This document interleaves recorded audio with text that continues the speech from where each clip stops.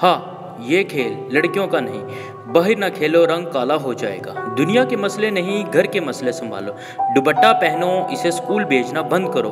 तुम्हारी जगह ग्राउंड में नहीं, किचन में है। ये क्या? लड़कियों वाले शौक अपनाओ। ये लड़की तो बहुत आवारा है, इसकी शादी कराओ।